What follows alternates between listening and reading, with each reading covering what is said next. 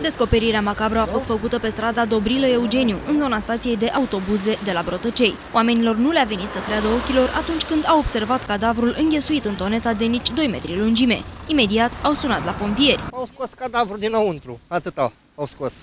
Absolut nimic nu au mai făcut. Ce spuneau? El dormea aici? Era om al străzii? Era om al străzii, după câte se spune, era om al străzii. Era om al străzii, fugit din spital de undeva, că avea granulă la mână. Branulă la mână.